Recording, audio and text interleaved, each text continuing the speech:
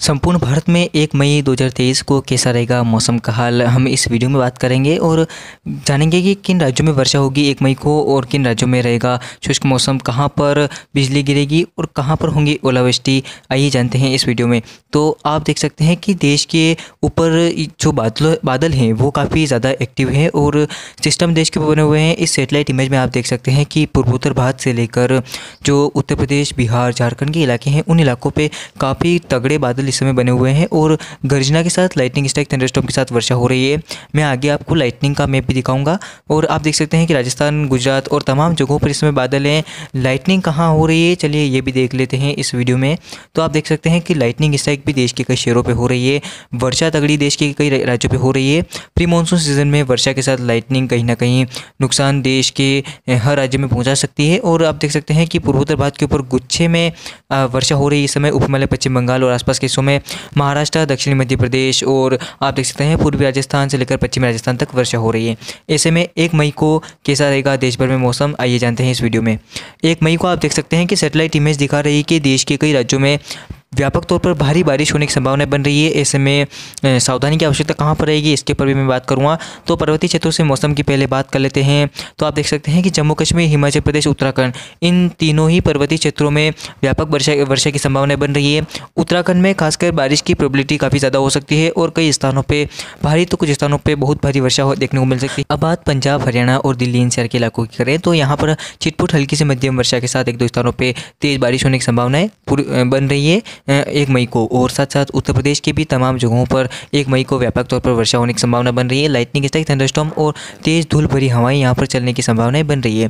राजस्थान के मौसम की बात करूँ तो राजस्थान के पश्चिमी भागों में हल्की से मध्यम वर्षा, श्रीगंगानगर, बीकानेर, चूरू आसपास के हिस्सों में हो सकती है। बाकी आप देख सकते हैं कि पूर्वी राजस्थान के जयपुर, उदयपुर से लेकर कोटा, प्रतापगढ़, बूंदी, झालावाड़ आसपास के तमाम हिस्सों में हल्की से मध्यम वर्षा के साथ एक दो स्थानों पर तेज़ बारिश होने की संभावना है। अब बात पूर्वोत्तर भारत की करें तो पहले मैं बात बिहार की करूँगा, जहाँ पर वर्षा होने की संभावना भी दिखाई दे रही है लाइटनिंग के साथ थंडरस्टॉर्म के साथ। पिछले दिनों बिहार, झारखंड में जिस प्रकार से वर्षा नहीं हो रही थी और गर्मी का सितम जारी था, अब बारिश की संभावनाएँ बन रही है। और आप देख सकते हैं कि जो झारखंड के इलाके हैं, उन इलाकों में बारिश होगी। उपमलय पश्चिम बंगाल में बारिश होने की संभावना है और पूर्वोत्तर भारत के तमाम जगहों पर हल्की से मध्यम वर्षा तो इक्का दुक्का स्थानों पर भारी वर्षा होने की संभावना है जिसमें अरुणाचल प्रदेश में प्रोबिलिटी बारिश की ज़्यादा रहेगी। अब बात मध्य भारत के राज्यों से करते हैं तो गुजरात में इस समय बारिश की प्रोबिलिटी कम हो गई है। हालाँकि इस समय की मैंने जब पिछले आपको लाइटनिंग स्ट्राइक की जो दिखाई मॉडल मैप और उसमें आपने देखा कि गुजरात के कई शहरों में वर्षा हो रही थी। आज का मैंने जब कल का मौसम मैंने डाला था तो मैंने बताया था गुजरात के कुछ हिस्सों में बारिश होगी, और आज कल देखिए, यानी कि एक मई को आप देखिए कि मॉडल दिखा रहे हैं कि कुछ राजस्थान से लगे हुए इलाकों में हल्के से मध्यम वर्षा होने की संभावनाएँ बन रही है। लिमिटेड प्लेसेस पर हल्की से मध्यम वर्षा हो सकती है। बाकी पश्चिम मध्य प्रदेश में बारिश की, जो बारिश की गतिविधियाँ हैं, वो अब कम होने लगेगी और हल्की से छिटपुट वर्षा भोपाल सहित उज्जैन संभाग के जिलों में हो सकती है। बाकी उत्तरी मध्य प्रदेश के हिस्सों में आप देख सकते हैं श्योपुर शिवपुरी से लेकर गुना, अशोकनगर तक मध्यम से हल्की वर्षा होने की संभावना है। बाकी पूर्वी मध्य प्रदेश के कई इलाकों में भारी वर्षा होगी, जिसमें जबलपुर में तो भारी बारिश का मॉडल दिखा रहा है और तमाम जगहों पर वर्षा होने की संभावना है और आकाशीय बिजली से इनकार नहीं किया जा सकता धूल भरी हवाएँ चलेगी और तेज़ बारिश के कारण जो आम व्यक्ति है, उनको नुकसान पहुँच सकता है और जो जनजीवन है, वो अस्त व्यस्त मध्य प्रदेश के पूर्वी भागों में हो सकता है, जिसमें जो दक्षिणी हिस्से हैं, पूर्वी मध्य प्रदेश के, उन इलाकों में देखने को मिल सकता है। छत्तीसगढ़ के भी कई इलाकों में भारी से कुछ स्थानों पर बहुत भारी वर्षा होने की संभावना बन रही है, एक मई को, और कुछ इलाकों में ओलावृष्टि तो कुछ इलाकों में धूल भरी हवाओं के साथ जो नुकसान है, वो देखने को मिल सकता है। और जो मंडी में माल रहता है, वो गीला हो सकता है, जिससे कि आम लोग परेशान हो सकते हैं, भारी नुकसान लोगों को हो सकता है। अगर फ़सल खेत में खड़ी है, अगर आपने कुछ फ़सल दाल वाल बोई हुई है तो कृपया इस समय जिस प्रकार से मौसम बन रहा है, उसमें आपको उसके लिए कुछ सावधानी की आवश्यकता रखनी होगी। और आप देख सकते हैं कि उड़ीसा के इलाकों में बारिश होने की संभावना है। महाराष्ट्र के मौसम की बात करूँ तो मध्य प्रदेश के पश्चिमी भागों के साथ साथ महाराष्ट्र के भी कई इलाकों में अब मौसम शुष्क होने लगेगा। हालाँकि दोपहर बाद बादल बन सकते हैं इक्का दुक्का इलाकों में और हल्की से मध्यम वर्षा हो सकती है।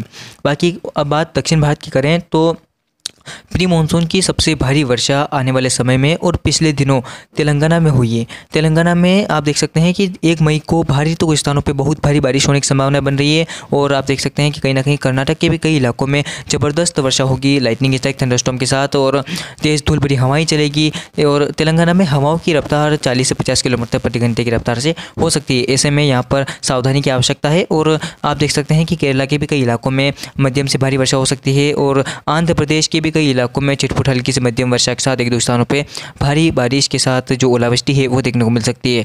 तो देश में तमाम राज्यों में मौसम ख़राब है और ऐसे में जो आम व्यक्ति है, जो किसान भाई है, उनको अलर्ट किया जा सकता है मौसम के पहले से आगाह किया जा सकता है मौसम के खिलाफ। जिस प्रकार से देश में भी प्री मानसून की वर्षा हो रही है तो वर्षा के साथ हवाएँ चलती है, ओलावृष्टि होती है और जिससे आम आदमी को काफ़ी ज़्यादा नुकसान हो सकता है और किसान भाई को खासकर नुकसान होगा। अगर उनके खुले खुले में कुछ पड़ा हुआ है या सुखाने को रखा है तो कृपया मौसम बदलते ही रख, घर में रख ले, क्योंकि मौसम इस समय काफ़ी ज़्यादा ख़राब हो सकता है। और ये था संपूर्ण भारत का एक मई का मौसम, और अगले वीडियो में मैं बात करूँगा दो मई के मौसम के पूर्वानुमान के ऊपर। तो अभी के लिए इस वीडियो में इतना ही, और अगर आपको ये वीडियो बेहतर लगा अच्छा लगा तो कृपया वीडियो को लाइक करें, और हमारे चैनल को सब्सक्राइब करना ना भूलें। धन्यवाद।